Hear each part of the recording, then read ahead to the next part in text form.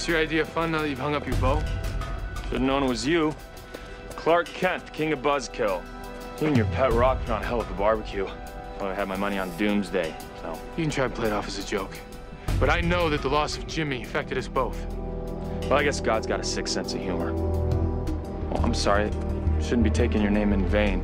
You need to hear me say it. I should have listened to you. I should have gotten rid of Davis instead of believing in him. It's a little late. Trying to make up for what happened, not add myself to the casualty list. Yeah, well, I can't get my thrills leaping tall buildings or outrunning speeding bullets. We mere mortals, we have to rely on a tweaked out Ducati in the open road. You know that you're meant for more than this. This isn't you. Who are you, huh? Wait, what's all this? What's the S stand for? What is that, superstar? It gives people hope. I tell you what, Clark, why don't you uh, go ahead and plaster your symbol of superiority all over the city so people can worship you like some kind of modern Jesus? That's what you want, right? That's why you're here? Here to save us? You need help. Yeah, well, maybe, but I hate to break it to you. Not everybody believes in the second coming.